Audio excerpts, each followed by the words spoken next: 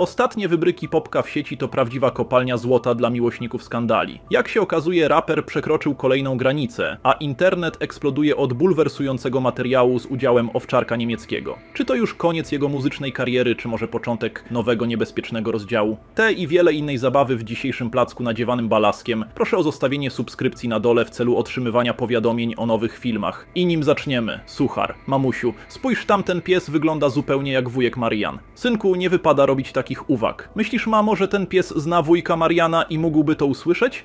Nie. Zapraszam do oglądania.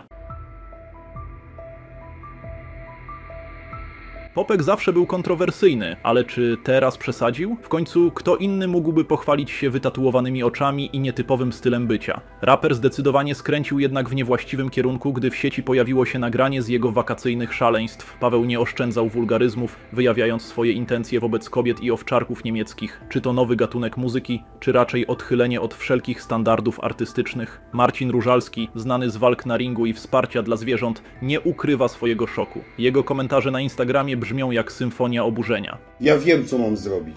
I wiem, co zrobię. I nie musicie mi kuć, co wy byście porobili. To jedźcie i zróbcie. W obliczu fali hejtu Popek postanowił przeprosić. Jego tłumaczenie, że był na haju, nie robią na nikim wrażenia. Szymanko, chciałem się odnieść do najgłupszego filmiku, jaki nagrałem w mojej karierze i patrzę na to trzeźwym okiem. Nie jestem z tego dumny. Prawda jest taka, że mam najebane w obie po narkotykach, po alkoholu. Powiem po prostu jak było, no pojebało mi się w głowie.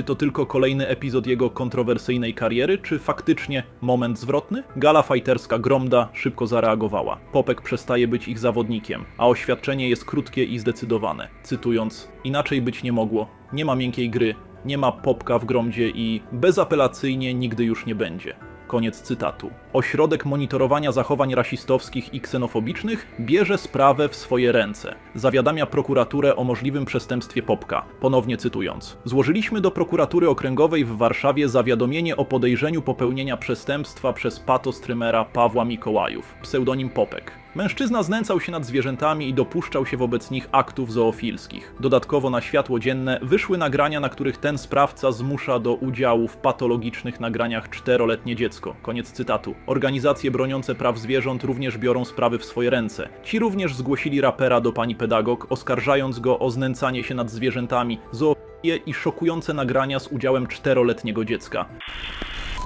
Bulwersujące nagranie staje się główną mirabelką gówna na wietrze. Media rozkwitają, a spekulacje o losie Monstera trwają. Czy to, co zaczęło się jako kontrowersyjny występ, zamieni się w rytuał egzekucji publicznej?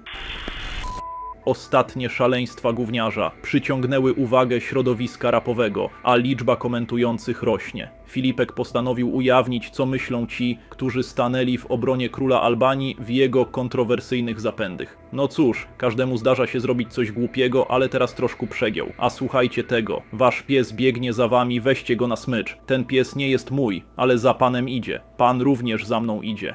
Fazi zdecydowany podejść do sprawy w stylu nagłego ataku spawacza, obiecuje dis, który uczyni z antyliroja pozór Arki Noego. Czy to kolejne kopanie leżącego, czy może szansa na powtórkę z historii? Kaczmi, nie szczędząc wulgaryzmów, wyraża swoje zdanie na temat Popka. Rozdziera koszulkę symbolem współpracy i odcina się od artysty. Koszulka całkiem spoko, no ale po tym co dziś zobaczyłem, Fajnie było, ale się skończyło, kurwa.